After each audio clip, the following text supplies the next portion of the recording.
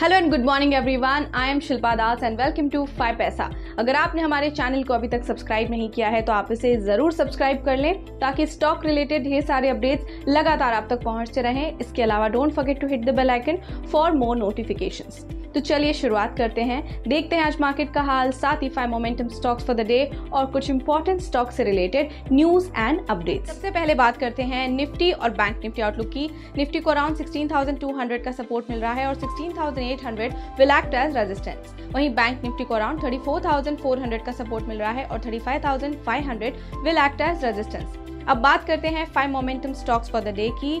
अगर cash delivery की बात करें तो आप इसे होल्ड कर सकते हैं सात से दस दिनों के लिए।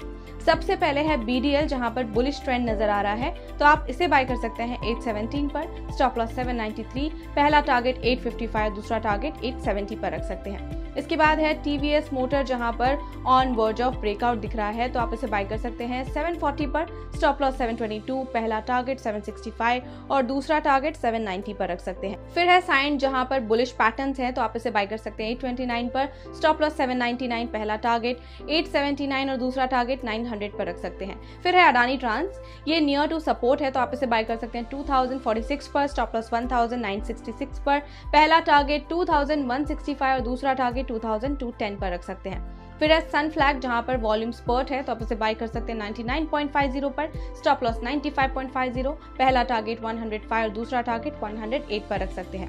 देखते हैं वो कॉल्स जो हमने आपको रिकमेंड किए थे। Balram Chini went up 2.45 percent NOCIL went up 1.86 percent अब बात करते हैं स्टॉक्स इन न्यूज़ की।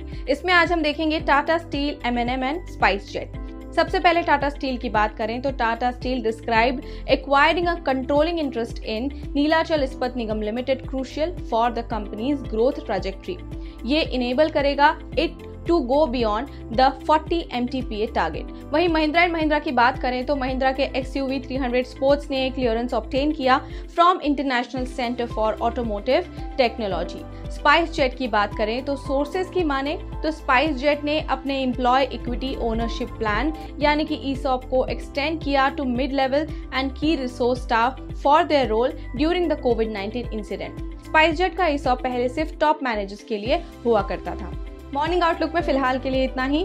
स्टॉक रिलेटेड और भी अपडेट्स के लिए हमारे चैनल के साथ बने रहें और अपने फीडबैक हमें कमेंट सेक्शन में ज़रूर दें।